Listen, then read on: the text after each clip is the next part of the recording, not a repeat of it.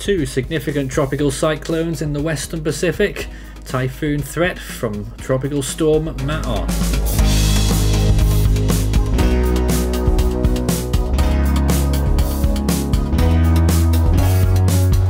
And now the latest around the wide world of tropics. Tropical Weather Bulletin for August 24th. And again, we're looking at the Western Pacific for the main uh, extent of our activity, with Typhoon Tokage moving off Japan, Category 2, well out to sea, and Tropical Storm Ma-on, which also threatens to become a typhoon shortly as it crosses the South China Sea and approaches the coast of southern China. Day 85 of Atlantic hurricane season, we have three areas of interest now, all littering the main development region. All at low chances though at the moment. Uh, it's unclear whether any of them will get any significant traction, although it certainly looks rather interesting in the longer range. In the Eastern Pacific, we don't have anything marked once again, and the National Hurricane Center have backed down to a low chance for the area of interest that they had south of Baja California. So nothing here on our charts, day 102 of hurricane season. In the Western Pacific, Ma-on left the Philippines a few hours ago uh, and is headed west-northwestwards through the South China Sea and intensifying again.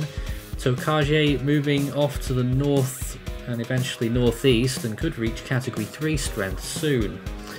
In the Indian Ocean, the remnants of 4B are still active and now getting very close to the border with Pakistan, uh, Western India still at the moment, and still delivering significant amounts of rainfall over the region. Uh, long land transit there. Let's take a look at satellite imagery of the North Atlantic Ocean right now, and you can see there is a general area or a general scene of disorganized disorganization, uh, many different areas of convection blowing up, a few along the Gulf Coast of the US, the Yucatan, but in, in terms of actual tropical systems, not much. Uh, Eastern Pacific, you can see what's left of that invest, and down there some more uh, tropical shenanigans in the intertropical convergence zone, but nothing of note. Massive flare up along the western coast of Mexico over the Gulf of California, which is interesting, but nothing to do with tropical activity. And here is a close-up of Typhoon Tokage right now, looking very good on the satellite imagery earlier.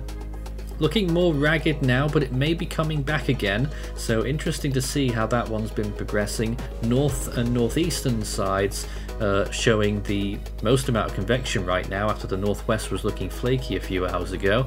And here is Ma-on right now as well. The Philippine name was Florita. It's now moved out of the Philippine area and is well over the South China Sea. It's a classic, classic shrimp shape and is likely to intensify a fair bit before reaching southern China and it looks like to me as though it's probably going to head towards the Leizhou Peninsula. Uh, certainly that's uh, my take on that movement right now. I'm not seeing much of a northerly component in its motion. Here's a wide shot showing all of them, or both of them, in action, um, and still rumblings of maybe a third system to their east, uh, but nothing becoming of that just yet. Indian Ocean, you can take a good look there at what's left of 4B, only half a cyclone uh, or cyclonic shape that you can see there as it moves on towards Pakistan. Elsewhere it's fairly quiet, and monsoonal activity around the equator. Southern hemisphere of what we can see here, nothing much. A lot of convection blowing up around uh, the Indonesian region, but nothing uh, established. And a little few areas of thunderstorms north of the Solomons. Elsewhere though, pretty quiet.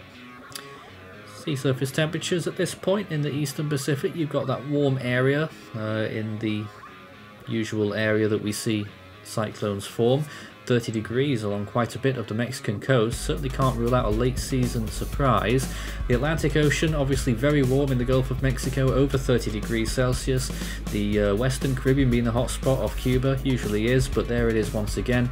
And over the Sargasso Sea and the Western Atlantic, huge area, vast sea there, expanse of 26 degrees Celsius waters or higher. Indian Ocean looking okay. Bay of Bengal for any further developments. Temperatures are there, 28 degrees plus. There is Matt Ma-on right now, over 30 degree waters, but it's going to exit them shortly. And Tokage there, uh, moving northwards, and the sea surface temperatures will fall away pretty quickly. I would say it's only got about 24 hours left of meaningful time to intensify. But anything that comes up after that in the Western Pacific has still got a huge ton of energy. And looking at how Tokage might have been possible more than usual, the sea surface temperatures in the subtropical and the extratropical zones there are very high compared to average in the Western Pacific and in the Atlantic. The tropical regions are much more closer to average, especially in the Atlantic, uh, but generally it is all above average right now. Oceanic heat content is through the roof in the Caribbean Sea and part of the Gulf of Mexico where the loop current is and around the Bahamas. The Eastern Pacific is catching up just a little bit further, the Western Pacific obviously looking very good and even some oceanic heat content further up north as well on the same latitude as Tokyo which is just where that typhoon is heading towards right now computer models. So this is the short term for the Atlantic. Look out for any green areas, that's tropical storm status, but you won't see any on this loop, I don't think. But you can see three areas maybe that try to establish a circulation. The most notable one, I would say, is the most uh, westerly one. Moves through the, uh, Barbados and the Lesser Antilles there and then by the 27th 28th of August you can see it developing once again. Maybe a circulation by the time you get to the 29th and maybe a tropical depression. Who knows? The Western Pacific you can see these two storms. Ma-on the GFS wants it to reach typhoon status and then make landfall calling for maybe an 85 mile per hour system. I know that was what the JTWC fancied yesterday. Um, as for Tokage there, you can see it intensifying just a little bit more, although the GFS has already underestimated this system. Models will struggle to catch up on that one due to its intensification earlier, and I would suggest that it will intensify possibly a little bit more if it gets its act together. Looking at rainfall estimates over the next few days for Ma-on, this is what we're quite concerned about for the southern coast of China and into northern Vietnam. You can see there that sea, um, not sea surface temperatures, but the precipitation amounts uh, caused by the storm's energy could reach 10 inches in some areas, 250 millimeters, and isolated maximums of maybe 12. That would be around 300 millimeters in southern China, and then up to around 7 inches in parts of northern Vietnam. That is around 150 millimeters, I believe. So that shows all of that rain area there could be quite substantial as we've already seen in the Philippines. In the longer range, day 5 to 10, watch the Caribbean there, potentially a system forming. There it is, tropical storm through Jamaica, then onto Cuba, and another system forming in the eastern Atlantic. Then you've got a hurricane there moving through the Florida Keys and off the western coast of Florida, day 5 to 10 there. Uh, still quite a long way out for that last part, but I'm sure that's going to raise quite a few eyebrows. The second system moves through the Cape Verde Islands and possibly reaches brief hurricane status before degenerating again out in the main development region. Eastern Pacific also showing some development in towards the end of that 10-day uh, period. An extremely broad area tries to develop here on the GFS model. Um, I would doubt that this would happen, uh, but it would be quite crazy if we did see that form because look how broad it is when it first starts to develop there on day 5 through 10. Quite substantial, quite interesting. Um, but that's all the Eastern Pacific or Central Pacific has to offer in that time period. To the Western Pacific, another system forming potentially approaching the coast of Japan and having a bit of an erratic track playing around with the front there and then eventually getting sucked inland. Not a very long lasting or strong system, but that's what the model's throwing up right now. Different variations of this storm um, have been visible on previous model runs. Uh, so who knows what might happen with that. This is probably one of the weakest scenarios that we've seen for this potential storm.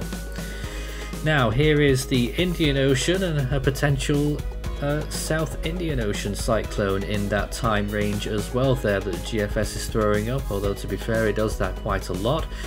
Uh, Arabian Sea also tries to throw together an extremely broad area of interest as well towards the end of that 10 day period. Uh, but all of that is quite a way out and difficult to establish any confidence uh, to this extent just yet.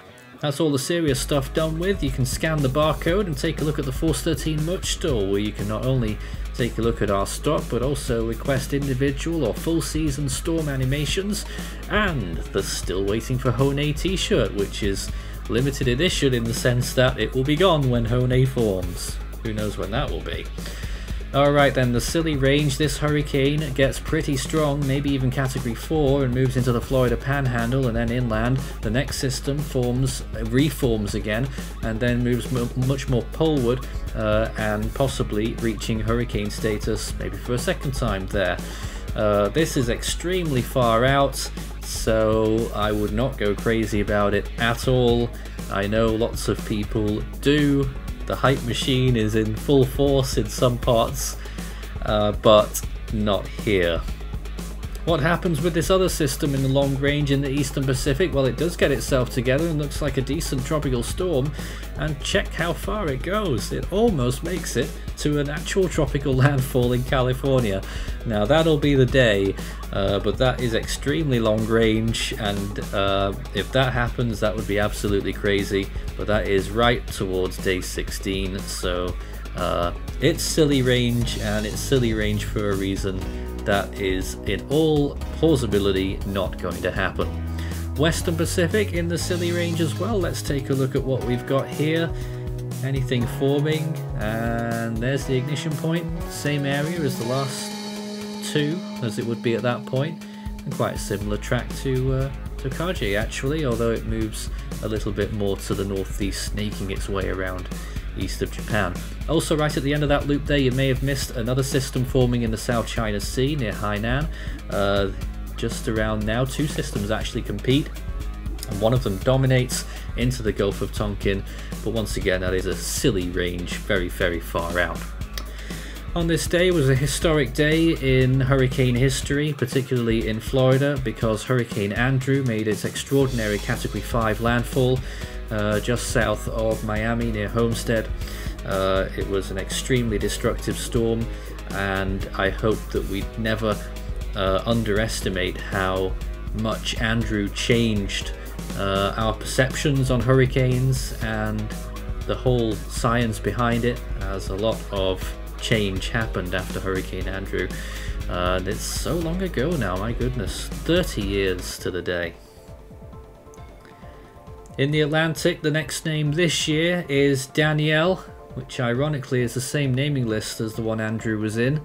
In the Eastern Pacific, the next name is Javier, and in the Central Pacific, we're still waiting for Hone. In the West Pac, the next name now is Hinnamnor, followed by Muifa. In the North Indian Ocean, we are still out there waiting for Sitrang.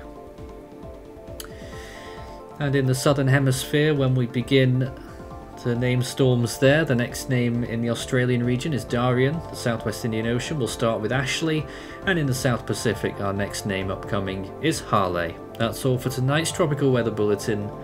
We'll be back with another one tomorrow night.